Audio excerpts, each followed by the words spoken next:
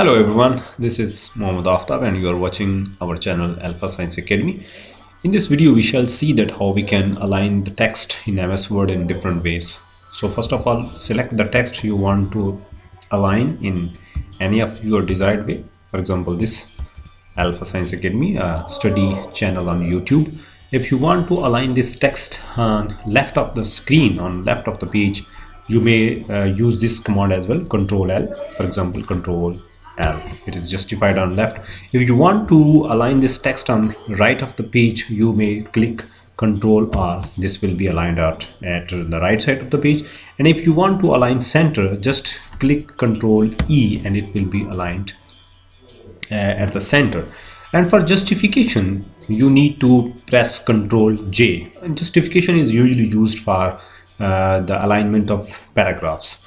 And if you don't know these commands and you want to uh, uh, align manually you may go to home just uh, click on home and then go to paragraphs and you will see that there are one two three four options. This is for left this is for middle this is for right and this is for justification. So in in any of the two ways you can align the text uh, in ms word. So that is that's it. Thank you very much